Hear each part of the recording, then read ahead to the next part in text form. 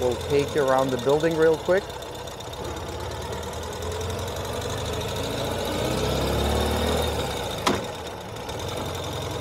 Very smooth clutch, predictable throttle, awesome brakes. And for those of you that are not familiar with modern Urals, we have uh, disc brakes all around, hydraulic circuits, foot brake, controls sidecar, and the rear wheel of the bike. And when you need to slow down, it's really, really nice.